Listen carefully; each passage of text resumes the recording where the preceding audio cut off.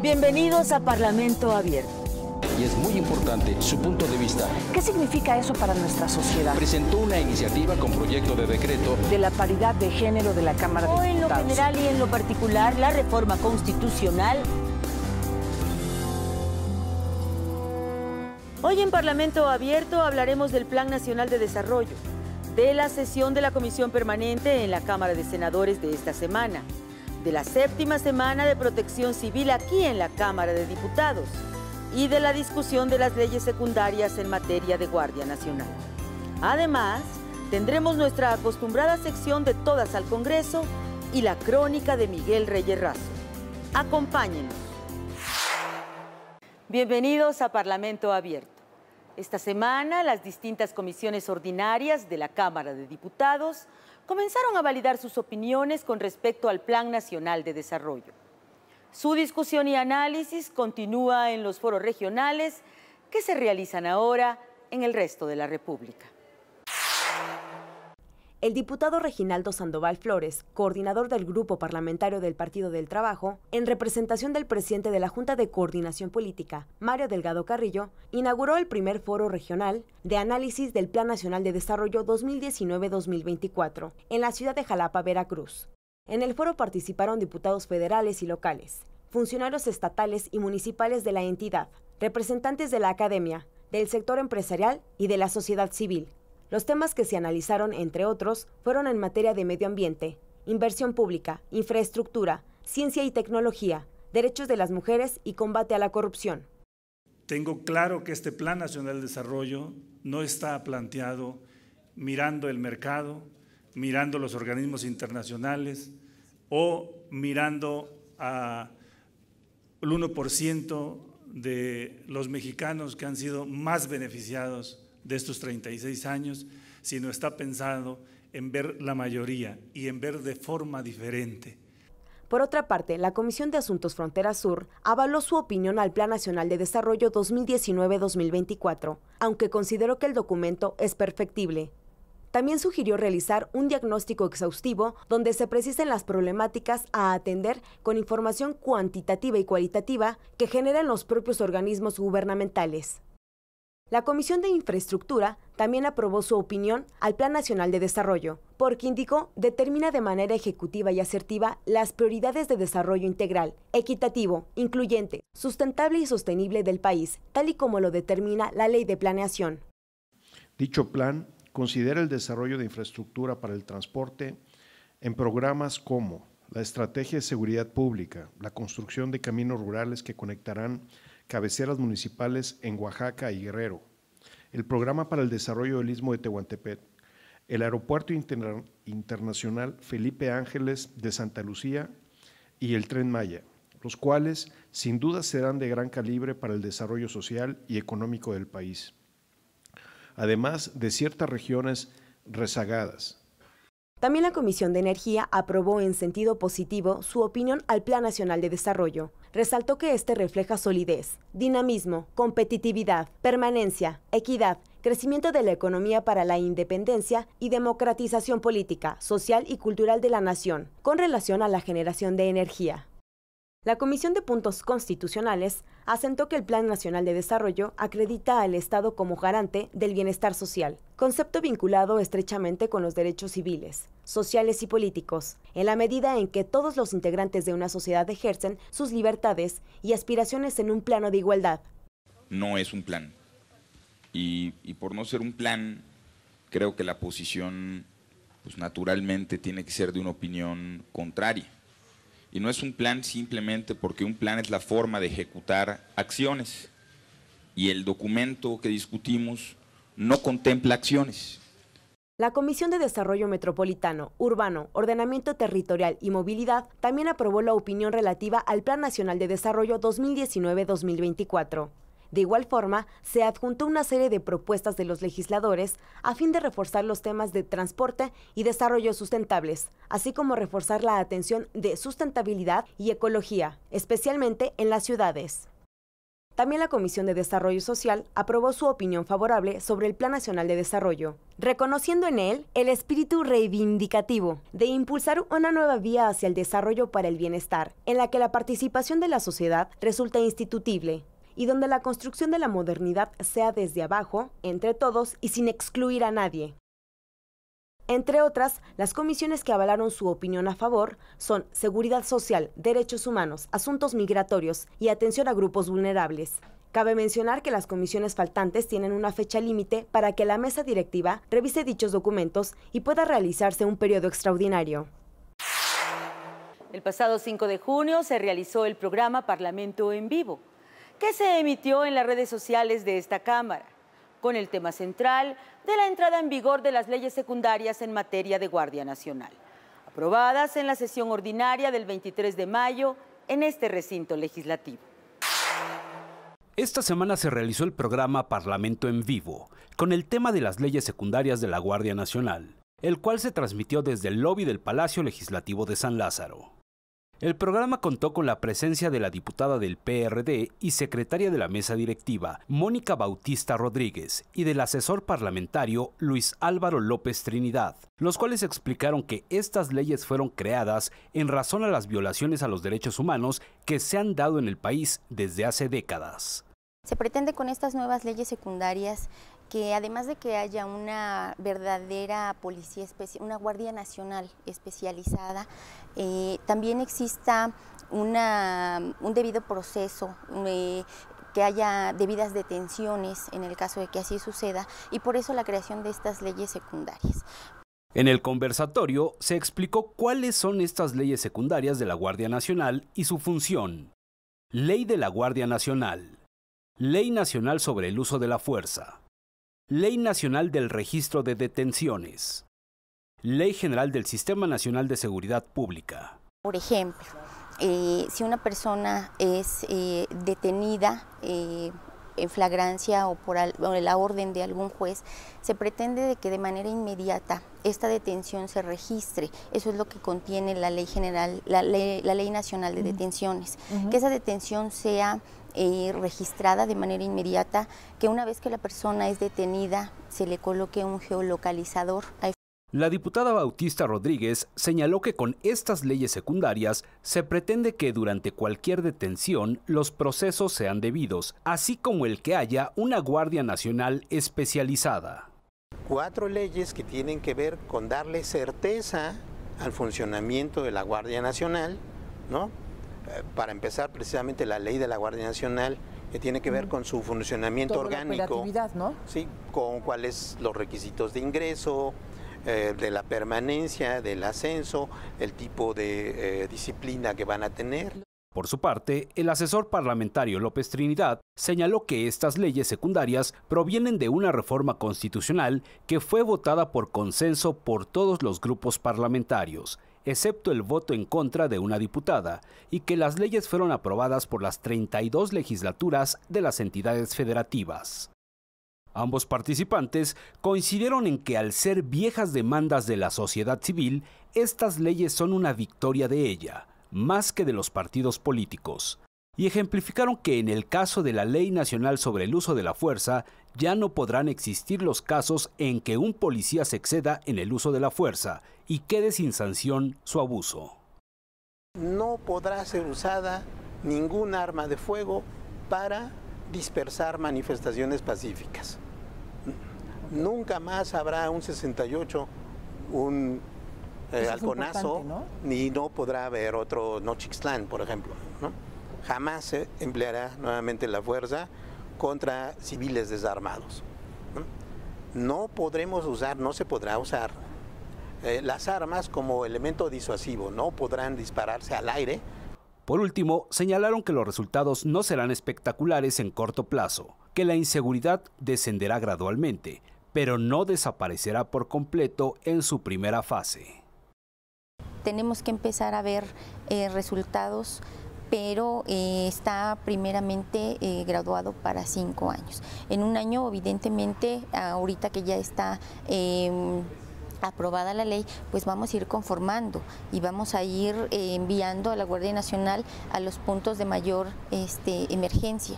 Pero sí tenemos que eh, dar un poco de tiempo, como yo comentaba hace un rato, quisiéramos que fuera esto, eh, pero ya urgente, porque la seguridad pues pública no puede esperar. Así es.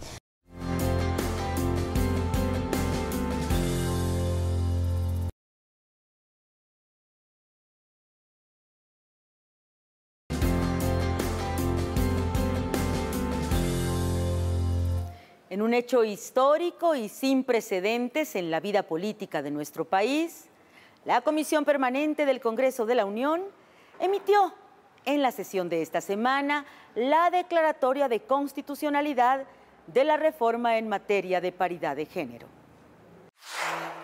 El miércoles 5 de junio, durante la sesión de la Comisión Permanente del Honorable Congreso de la Unión, se emitió la declaratoria de constitucionalidad de la reforma sobre paridad de género en los órganos del Estado, después de recibir el voto aprobatorio de 21 congresos estatales. Legisladores de distintas fracciones parlamentarias destacaron que la modificación a la Carta Magna consolida la igualdad entre hombres y mujeres en el acceso a los puestos de decisión del Estado.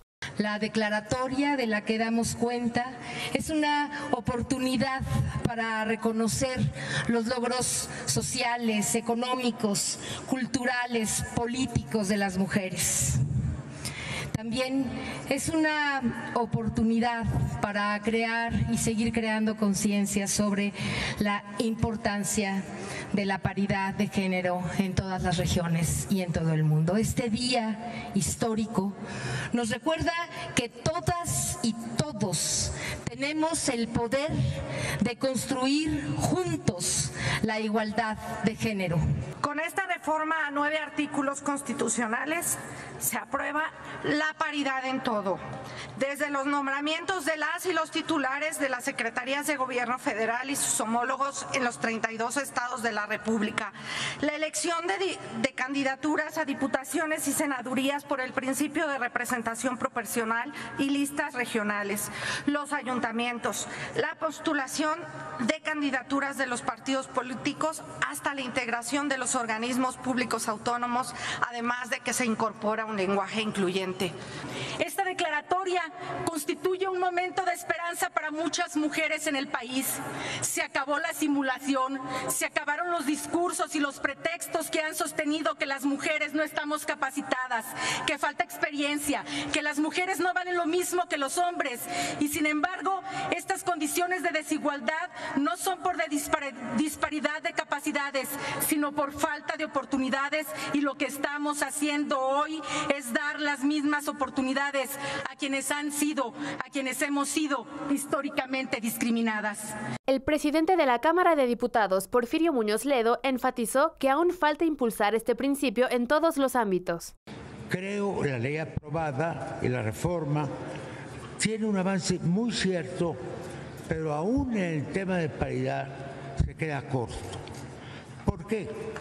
Debe especificarse que esta paridad debe respetarse por los sindicatos, por las asociaciones privadas, por los consejos de las empresas y también por las entidades académicas que tengan influencia en la vida social. El documento, avalado por la mayoría de las legislaturas estatales, fue remitido al Diario Oficial de la Federación para su publicación. Por su parte, el presidente de la mesa directiva de la Cámara de Diputados, Muñoz Ledo, felicitó al presidente del Senado por su reunión con los presidentes de los congresos estatales para fomentar el diálogo entre congresos. Asimismo, destacó que ha solicitado crear una asociación de congresos. En la misma sesión de la permanente y ante la mesa directiva rindieron protesta a los ciudadanos Ricardo Agüed Bardawil como administrador general de aduanas del SAT de la Secretaría de Hacienda y Crédito Público, Marta Cecilia Haber Breceda como embajadora de México en la Confederación Suiza y en forma recurrente ante el Principado de Liechtenstein, y Francisco del Río como embajador de México en el Reino de Suecia y en forma recurrente ante las repúblicas de Letonia y Lituania. La diputada Dulce María Sauri Riancho destacó la importancia del punto de acuerdo ante los desastres naturales ocurridos en Matehuala, San Luis Potosí y en el municipio de San Gabriel, Jalisco. Y que el día de hoy en este punto de acuerdo nos muestra con claridad dos lugares de nuestro país azotados, no por condiciones extraordinarias, sino por algo que tenemos que aceptar, es una tendencia que tenemos que combatir, que remediar y que garantizar que la vida y las propiedades de las personas y las familias estarán resguardadas. Finalmente se citó a la siguiente sesión que tendrá lugar el miércoles 12 de junio en el recinto plenario de la Cámara de Senadores. En nuestra sección Todas al Congreso, continuaremos la charla con la feminista, antropóloga, escritora, profesora y política, Marcela Lagarde.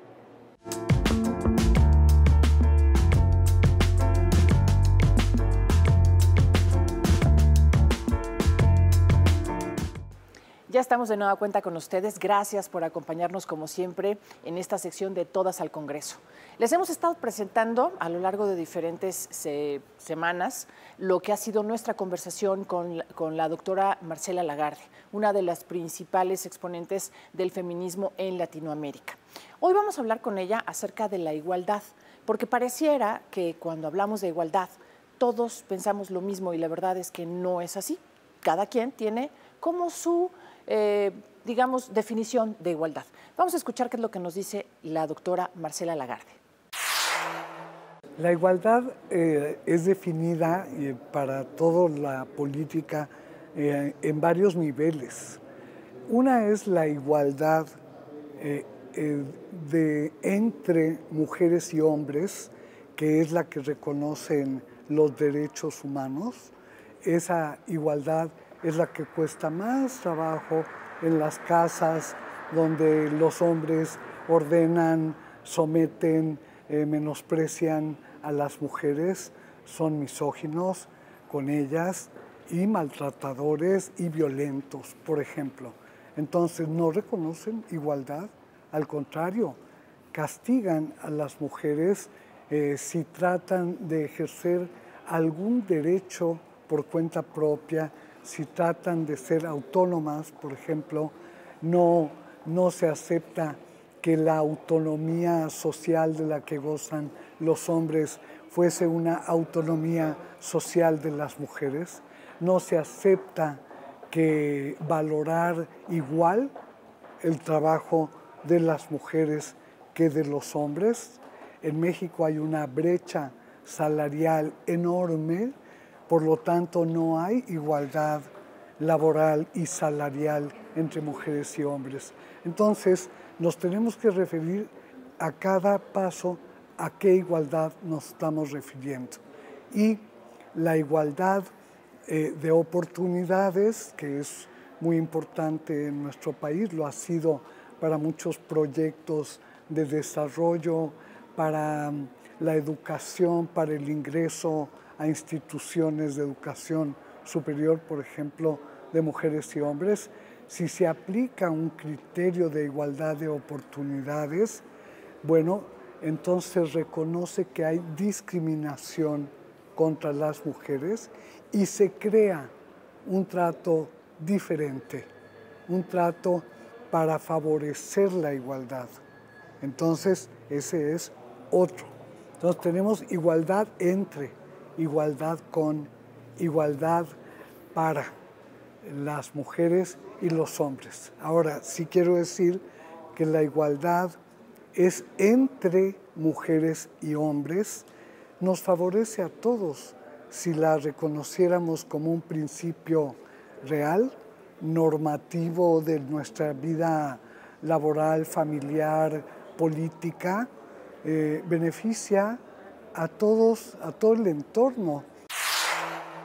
Bueno, pues igualdad, equidad son términos diferentes y además dependiendo de en dónde se apliquen y para qué los queremos. Realmente la doctora Marcela Lagarde nos ha abierto ahí eh, algunos temas para reflexionar. Gracias otra vez por haber estado con nosotros. Yo soy Lilia Silvia Hernández, me despido por esta ocasión y recuerden que siempre hablamos aquí en Todas al Congreso de paridad de género.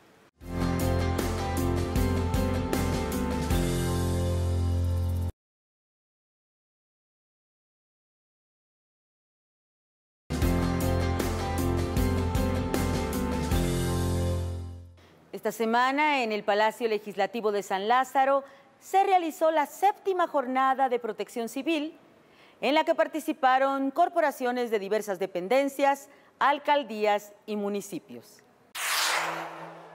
La Secretaría General, la Dirección General de Resguardo y Seguridad y la Dirección de Protección Civil de la Cámara de Diputados llevaron a cabo la séptima jornada de protección civil en el Palacio Legislativo de San Lázaro. Las jornadas tuvieron el propósito de difundir los principios de la cultura de autoprotección con el fin de incrementar de manera significativa la probabilidad de éxito ante una contingencia. Previo a las jornadas se llevó a cabo una conferencia con los medios de comunicación en la que participaron las organizaciones, miembros de la Comisión de Atención a Grupos Vulnerables, además de personal de resguardo y protección. Insisto en agradecer a todos ustedes su presencia, su eh, eh, participación hermanar a todas las instituciones de atención de emergencia, hasta todas las instituciones que se encuentran aquí representadas, es definitivamente un logro sin paragón que no se había registrado con previsión. Eh, agradezco eh, la calidad de los ponentes que nos, que nos acompañan. Es muy importante para nosotros la calidad de quienes van a, exponer sus eh, ponencias. Les agradezco infinitamente su participación, su atención a la convocatoria. Y nada, pues todos sean bienvenidos.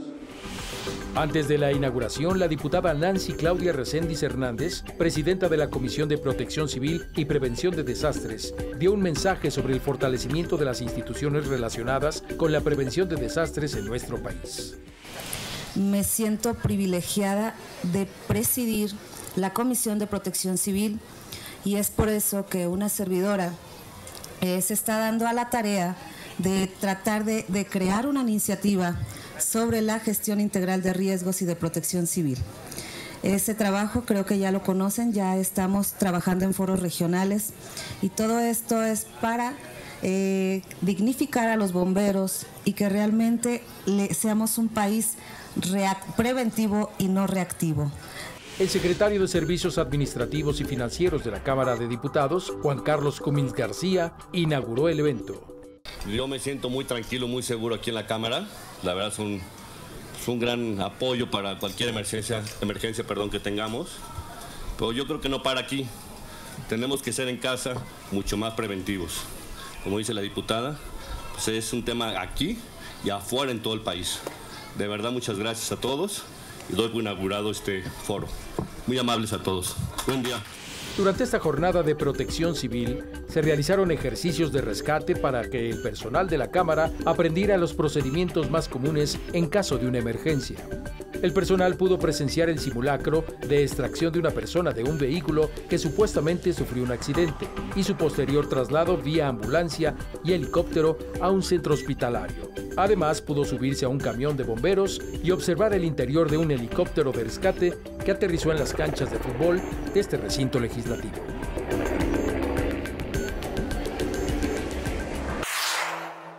En nuestra crónica de hoy, Miguel Reyerrazo nos habla del Día Mundial del Medio Ambiente.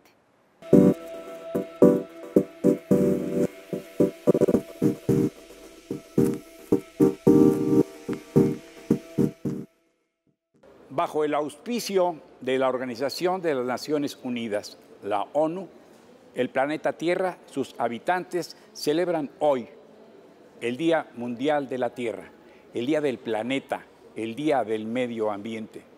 Conviene entonces, ante celebración que abarca todo el orbe, recordar lo que aquí mismo un hombre que habitó por tres años, un político mexicano en esta Cámara de Diputados, Luis Donaldo Colosio Murrieta, nos recordó. Este planeta no nos pertenece, nos lo prestaron nuestros hijos, es de ellos y para ellos debemos conservarlo en las mejores condiciones posibles. ¿Cuáles? Las de la sanía, las de una buena salud, de un buen trato a nuestro medio ambiente, al aire que respiramos, a, las aguas que bebemos y que consumimos y que sirven lo mismo para nuestro aseo que para la sed y la alimentación. El cuidado a la tierra, la tierra sí, esa tierra pródiga como la describió Agustín Yáñez, en la que surgen nacen, se dan los alimentos que han de nutrirnos y ayudarnos a sobrevivir de la mejor manera en este planeta. Tal parece que solamente en grandes, ante grandes catástrofes o sus amenazas el hombre reacciona. No hace mucho se celebró en París la gran junta de los 2030.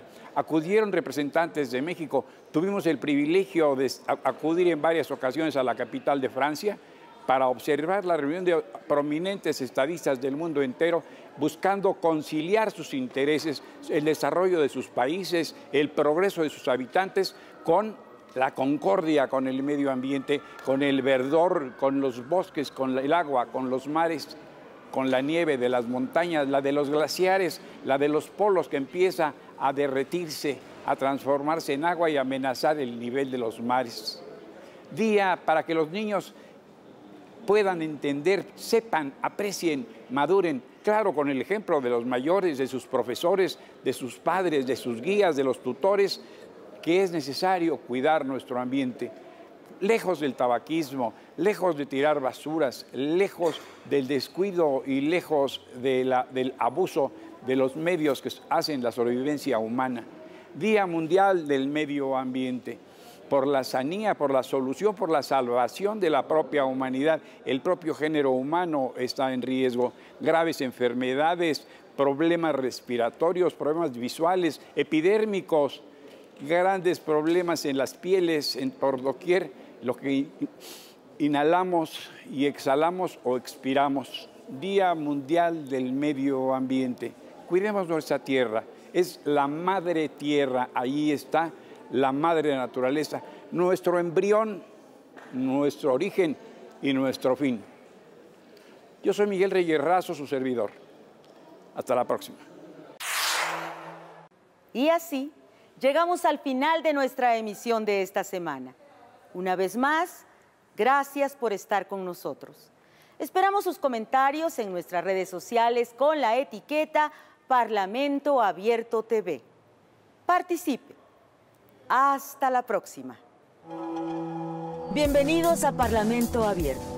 Y es muy importante su punto de vista. ¿Qué significa eso para nuestra sociedad? Presentó una iniciativa con proyecto de decreto de la paridad de género de la Cámara de Diputados. en lo general y en lo particular, la reforma constitucional